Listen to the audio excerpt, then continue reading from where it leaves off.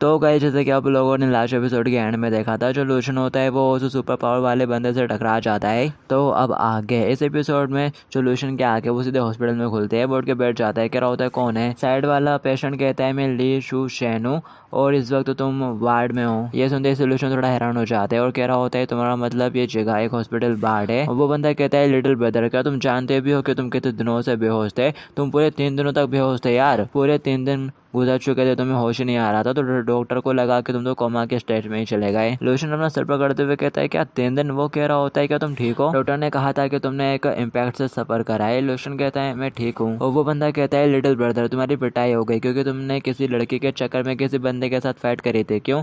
Lotion कहता है what ये क्या बोल रहे हो आखिर तुम? वो कह रहा होता है अच्छा क्या ऐसा नहीं है।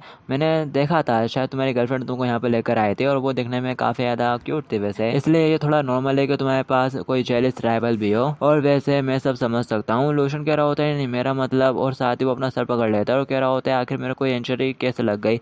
मेरे को कुछ याद क्यों नहीं आ रहा कि तभी यहाँ पर निकी आ जाती है? और कह रही होती है, ब्रदर, उसको देखकर वो हैरान हो जाता है और कह रहा होता है निकी, वो बोलते हैं, फाइनली तुम जा गए मेरे को तुम्हारे बारे में बहुत ज़्यादा चिंता हो रही थी। लोशन कहता है, मैं ठीक हूँ, तुमको मेरे बारे में चिंता करने की ज़रूरत नहीं है। वो आँसू पूछते हुए कहती है, ठीक है। लोशन पूछता है कि तुम मेरे को हॉस्पिटल में लेकर आई? निकी बताती है, तुम उस गली में बेहोश हो गए थे और मैं बहुत ज़्यादा शौक में थी। मेरे दिमाग में आ नहीं रहा था कि मैं क्या करूँ? थैंकफुली वहाँ से घंटे गुजर रहे थे। उन्होंने हॉस्पिटल उन्होंने हॉस्पिटल में कॉल करा, फिर एंबुलेंस आई और तुमको यहाँ पर लेकर आए। लोशन कहता है अच्छा ऐसा हुआ था। तुम्हारा बहुत बहुत शुक्रिया निकी देखिए वो उसका हाथ पकड़ते हुए कहती है बिग ब्रदर ये बहुत ही अच्छा है कि तुम ठीक हो गए हो। कि तभी लोशन को साइड से सिसकने की आवाज़ आती है। वो देखता है तो वो बंदा मुँह में रुमाल छपाते हुए रोना शुरू कर देता है और कह रहा होता है, तुम्हारा रिलेशनशिप तो बहुत ज़्यादा टचिंग है। तुम दोनों एक दूसरे को कभी मत छोड़ना। उसका ऐसा बिहेवियर देख के लोशन थोड़ा हैरान हो रहा होता है। और फिर साथ ही वो कहता है रुको, मैं तो तीन दिनों से बेहोश था ना तो आखिर निकी डबल से फ़ोन, अपने फॉर्म वाले रूम में ट्रांसफॉर्म क्यों नहीं हुई? क्या मेरी एबिलिटी पहले से ज़्यादा स्ट्रॉगर हो गई है? क्या अब मैं निकी को लंबे टाइम तक इंसानी फॉर्म में रख सकता हूँ? और फिर साथ ही वो धीरे से आवाज़ देते हुए कहता है, निकी, ज़रा यहाँ पर आना। वो पूछते हैं, क्या हो गया? लोशन उसके कान में कुछ कहता है, इससे पहले ही यहाँ पर नोक नोक होती है, पुलिस वाले आ जाते हैं। और पूछ रहे होते हैं, तुम लोगों में से लोशन कौन है? लोशन कहता है पुलिस ऑफिसर। और फिर साथ ही वो हाथ उड़ाते हुए कहता है, मैं हूँ। और उनमें से एक पुलिस वाला लोशन को घूर के देख रहा होता है, और फिर वो लोग चलते हुए लोशन के पास आ जाते हैं। उनमें से एक बोलता है लिटिल फ्रेंड ज़्यादा नर्वस मत होना। हम लोग बस तुमसे कुछ क्वेश्चन पूछेंगे। लोशन बोलता है, ठीक है। और साथ ही वो सोच रहा होता है आखिर पुलिस मेरे को क्यों ढूंढ रही थी? वो पुलिस वाला बोलता है, हम यहाँ पर ये पूछने के लिए आए हैं कि तीन दिन पहले तुम उस रेनेवल रोड से गुजर रहे थे ना? लोशन कहता है हाँ मैं वहीं आस पास था। वो पूछता है, क्या तुम जानते हो वहाँ पर एक कार एक्सीडेंट भी हुआ था? लोशन सोच रहा होता है, आखिर ये उस कार एक्सीडेंट के बारे में क्यों पूछ रहे हैं? वो कहता है हाँ मैं जानता था बिकॉज़ मैं वहीं आस पास था। वो दूसरा पुलिस वाला लोशन की बातें ध्यान से सुन रहा होता है। वो पहले वाला पुलिस वाला पूछता है तो, तो क्या तुमको उस मर्डरर के बारे में पता है जो कि उस एक्सीडेंट साइट के कहीं आसपास था? यह सुनते ही सोल्यूशन चौक जाता है। कह रहा होता है क्या एक मर्डरर तभी पुलिस वाला लूशन को एक पिक्चर दिखाते हुए बताता है किसी ने एक्सीडेंट साइट पर ये रहे थे। जिस डायरेक्शन में तुम गए थे, वो उस जगह के करीब था जहाँ पर लाश मिली थी। लोशन उनकी बातें सुनकर हैरान हो जाता है। वो पुलिस वाला बताता है, हम लोगों को वहाँ पर कुछ लोगों के ब्लड के निशान भी मिले हैं। विक्टम के अलावा तीन लोगों के और खून के निशान है, जिन्हें हम अभी तक नहीं ढूंढ पाए हैं। ये सुनते ही लोशन थोड़ा परेशान हो जाता है और मनी मन सोचता है मुझसे ये मत कहना कि लॉर्ड एलिस मर चुकी है। इसके अलावा हम तुम्हारा ब्लड टेस्ट करना चाहते हैं। क्या? पुलिस वाला बोलता है नर्वस मत हो, हम तुम्हारे ऊपर शक नहीं कर रहे हैं। इन द फैक्ट हमें तो लगता है कि तुम्हें विक्टम हो। ये सुनते से लोशन एकदम हैरान हो जाता है और कह रहा होता है, क्या?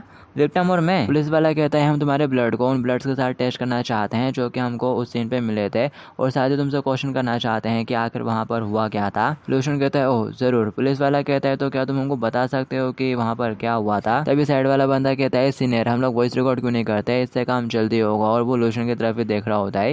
लूशन को थोड़ा अजीब लगता है। वो वो हँसते हुए कहता है, अरे हाँ हाँ हाँ वो मेरे को क्या लिखने की आदत पड़ चुकी है? तो दिमाग से निकल जाता है और फिर साथ ही वो मोबाइल रख देता है रिकॉर्डिंग के लिए और कह रहा होता है ऑल राइट किट अब हमें बताओ। लूशन कहता है, ठीक है, ज़रा मुझे सोचने दो। उस एक्सीडेंट के बाद में मेल बॉक्स गर्ल से सिचुएशन के बारे में पूछने के लिए उसे कोने में लेकर चला गया था। और फिर उसके बाद क्या हुआ? अरे, मेरे को कुछ याद क्यों नहीं आ रहा? मेरे को बस कुछ कुछ धुलने से सीन याद आ रहे हैं, लेकिन मैं ढंग ढंग से इम्पोर्टेंट डिटेल्स को रिकॉल नहीं कर पा रहा हूँ। आखिर उसके बाद क्या हुआ था? आखिर मेरे को चोट कैसे लग गई थी? मुझे कुछ याद क्यों नहीं है? और वो पुलिस वाले हैरानी से एक दूसरे की तरफ़ देखने लगते हैं। नहीं कहती है बिग ब्रदर क्या तुम ठीक हो? लोशन अपना सर उठाते हुए कहता है, मेरे को कुछ भी याद नहीं है। ये सुनते से निकी हैरान हो जाती है और वो दोनों पुलिस वाले भी, और वो तीसरा बंदा भी शौक हो जाता है। पुलिस वाला कहता है क्या? तुमको याद नहीं आ रहा या फिर तुम हमें बताना नहीं चाहते? लूशन बोलता है वोट आखिर तुम तभी साइड वाला बंदा कहता है ऑफिसर वो जो कह रहा है वो सच हो सकता है, हो सकता है कि उसे याद नहीं आ रहा हूँ। वैसे भी डॉक्टर ने कहा था कि उसके सिर पर चोट लगी है तो हो सकता है कि उसे थोड़ा मेमोरी लॉस हो गया हो। वो दूसरा पुलिस वाला कहता है हाँ मैंने डॉक्टर से इसकी कंडीशन के बारे में सुना था, हम लोग इसे फोर्स नहीं कर सकते। बच्चे, अगर तुम्हें कुछ याद आता है तो बाद में तुम हमको डिटेल में बता देना ओके लूशन बोलता है हाँ ठीक है, अब हमें जाना होगा, जब टेस्ट रिज़ल्ट आ जाएँगे, तब हम तुम्हारे साथ कॉन्टैक्ट करेंगे। लूशन कहता है, ठीक है। पर वो दूसरा पुलिस वाला उसको घूरते हुए जा रहा होता है। लूशन भी देखता है, उसको अजीब सा फील हो रहा होता है उसको देखकर। और फिर वो साथ ही दरवाज़ा बंद करके चले जाते हैं। वो साइड वाला पेशेंट बोलता है हे लिटिल ब्रदर आखिर पुलिस तुमको अप्रोच करने के लिए क्यों आ रही है? क्या तुम किसी बड़े केस में इन्वॉल्व हो? लूशन कहता है, आखिर ऐसा कैसा हो सकता है? मैं तो कानून को अच्छे से पालन करने वाला एक सिटीजन हूँ। और वो बंदा कहता है, तुम एक अजीब से केस में इन्वॉल्व हो गए और साथ ही तुमको ये भी याद नहीं कि तुम्हें चोट कैसे लगी? लूशन कहता है, मैंने पहले याद करने की कोशिश की थी, लेकिन मैं कुछ याद ही नहीं कर पा रहा हूँ। और वो बंदा कहता है, ऐसा लगता है कि वाकई में तुम्हारे सिर में चोट लगी हुई है, खुद को ज़्यादा फोर्स मत करो। लूशन कहता है हाँ और तुम्हारा शुक्रिया पहले वो बोलने के लिए। वो हँसते हुए कहता है, अरे, चिंता मत करो, बस तुम अच्छे से आराम करो। लूशन कहता है ऑल राइट नेकी बोलती है बिग ब्रदर क्या तुमको वाकई में कुछ भी याद नहीं आ रहा है? वो बोलता है हाँ और फिर साथ ही वो कहता है, अरे हाँ निकी तुम भी तो उस वक्त वहाँ पर थी तो तुमको तो पता हुआ कि वहाँ पर क्या हुआ था। निकी बोलती है, मैंने बस कुछ आवाज़ें सुनी थी, लेकिन मैं एग्जैक्टली देख नहीं पाई कि आखिर वहाँ पर क्या हुआ था। लूशन कहता है अच्छा ऐसा है क्या? तो फिर अपन इसमें कुछ नहीं कर सकते। तभी निकी कहती है, अरे हाँ लूशन बोलता है, क्या हो गया? और वो बोलती है, जो तुम बेहोश थे, मैंने देखा था, तुमने अपने हाथ में किसी चीज़ को बहुत टाइटली पकड़ा हुआ था। लूशन बोलता है, कौन सी चीज़? वो उसके हाथ में देते हुए बोलती है, ये रही। लूशन देखता है हैरानी से और बोल रहा होता है, क्या? चाबी? निकी बोलती है बिग ब्रदर मेरे को लगा कि ये कुछ बहुत ही ज़्यादा इंपॉर्टेंट चीज़ है, इसलिए मैंने ये सब पास रख लिया।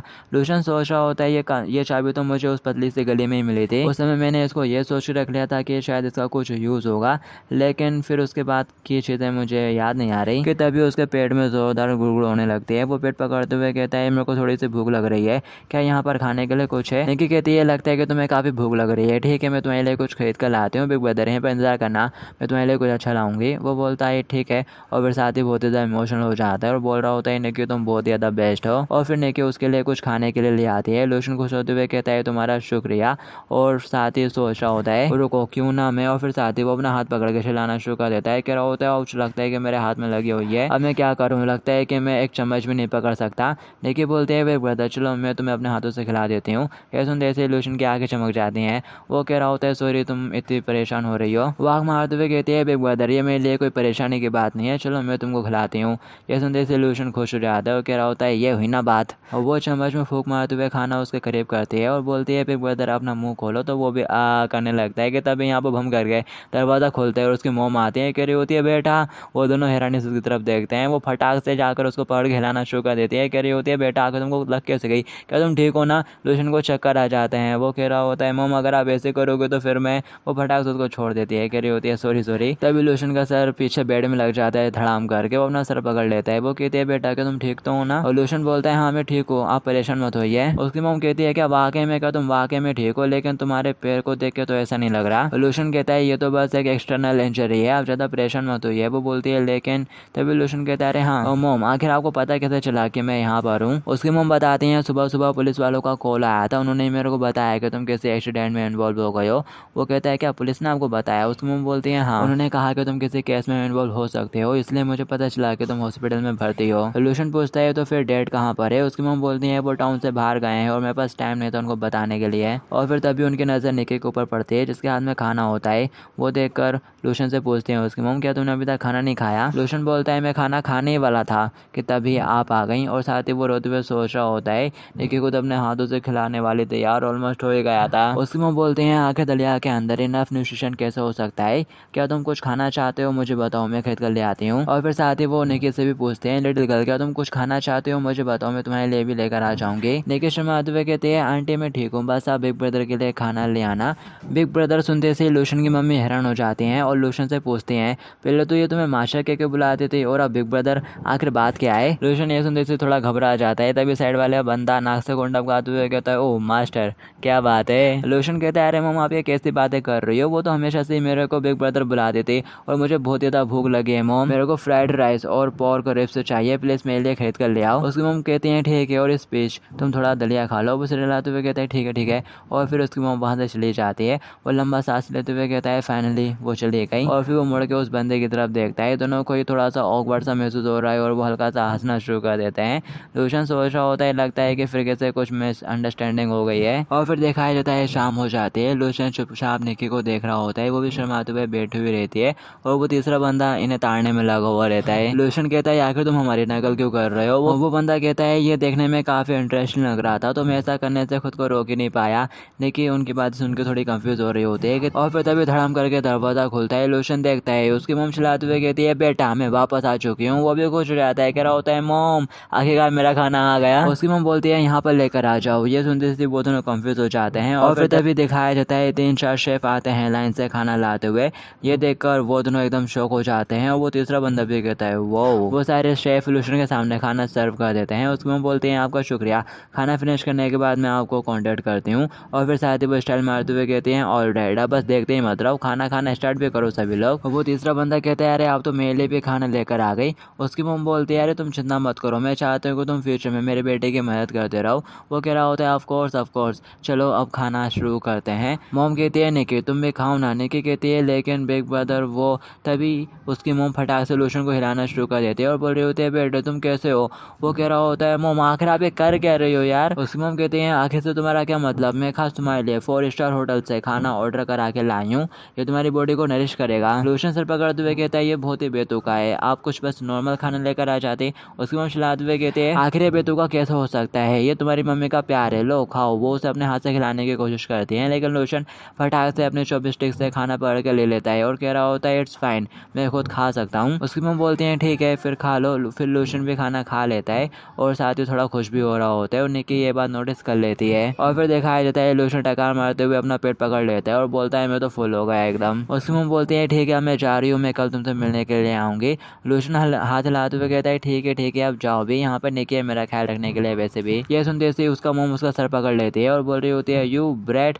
लोशन कहता है, ऐसा मत करो, मेरे सर को टच मत करो, ये बहुत ज़्यादा अनकम्फर्टेबल लगता है। ये सुनते से उसका ये सुनते से उसके मम्मी फटाक से उसका मुँह पकड़ लेती हैं ज़ोर से और कह रही होती है, बेटा, तुम्हारा सर आजकल बहुत ज़्यादा दर्द होने लगा और आखिर तुम अपनी मम्मी से यह किस तरह के टोन में बात कर रहे हो? लोशन कहता है I am sure you mummy. उसके मोम उसको छोड़ देती है। कह रही होती है ऑल राइट मैं जा रही हूँ। लोशन कहता है डियर मदर आपकी यात्रा सुरक्षित रहे। बाय निकी मैं कल तुम लोगों से मिलने के लिए आऊँगी। निकी भी आंटी को गुड बाय बोल देती है और फिर वो दरवाज़ा लगा के चली जाती है। और इस तीसरे बंदे को लोशन की मुँह पसंद आ गई होते हैं। शायद वो देखता है लोशन की तरफ़ मुड़ के। लोशन कहता है, क्या हो गया? वो कहता है लिटिल ब्रदर क्या तुम्हारे पास फादर की कमी है? लोशन चला हुआ कहता है, बिल्कुल भी नहीं। और फिर रात हो जाती है। अपन को एक नर्स को दिखाया जाता है, जो कि चलते हुए लोशन के कमरे के अंदर एंटर करती है। और लोशन को कुछ आवाज़ें आ रही होती है बातें करने की। वो कहता है, आखिर ये कौन बात कर रहा है? वो उठ के थोड़ा बैठ जाता है। उसे पर देखो दूसरी साइड से आवाज़ सुनाई दे रही होती है। वो नर्स पूछ रही होती है, क्या तुम अभी भी जीना चाहते हो? वो पेशेंट बोलता है नर्स आखिर आप ये क्या कह रही हो? वो कहती है, मेरी बात सुनो, अपनी आँखें बंद करो और अच्छे से सो जाओ, ठीक है? लोशन सोच रहा होता है, आखिर यहाँ पर बाढ़ में कौन आके बात कर रहा है? मैंने इसकी वॉइस पहले कभी नहीं सुनी। वो पेशेंट बोलता है, आखिर तुम ये क्या बोल रही हो? नर्स कहती है, मैं तुमसे पूछ रही हूँ, क्या तुम जीना चाहते हो? ये सुनते से लोशन हैरान हो जाता है और सोच रहा होता है, आखिर इसका क्या मतलब? वो नर्स कहती है, तुम जानते हो ना तुम्हारी बीमारी का आउटकम क्या होगा। मैं तुमसे फिर से पूछ रही हूँ, क्या तुम ज़िंदा रहना चाहते हो? वो कहता है ऑफकोर्स मैं जीना चाहता हूँ। नर्स कहती है ऑल राइट मैं तुम्हारी हेल्प करूँगी। लोशन सोच रहा होता है हेल्प आखिर इससे क्या मतलब? और फिर तभी उसे कुछ भस भस टप टप की आवाज़ें आती हैं। वो सोच रहा होता है, आखिर ये कैसी आवाज़ें हैं? मेरे को कुछ भी ठीक फील नहीं हो रहा है। और फिर तभी उसे एक रेड लाइट चमकती हुई नज़र आती है। वो कह रहा होता है, आखिर वहाँ पर हो क्या रहा है? ये लाइट डैमिट मैं देखना तो चाहता हूँ, लेकिन मैं मूव नहीं कर पा रहा। और फिर वो रेड लाइट आना बंद हो जाती है साइलेंस छा जाती है और फिर वो न, और फिर वो नर्स चुपचाप से रूम से भाज ले जाती है। लूशन सोच रहा होता है अब कोई भी साउंड नहीं आ रहा लगता है कि वो चले गए। और यहाँ पर लूशन उस और उस अंकल के अलावा तीसरा पेशेंट और एडमिट है यानी लूशन के कमरे में तीन लोग हैं टोटल।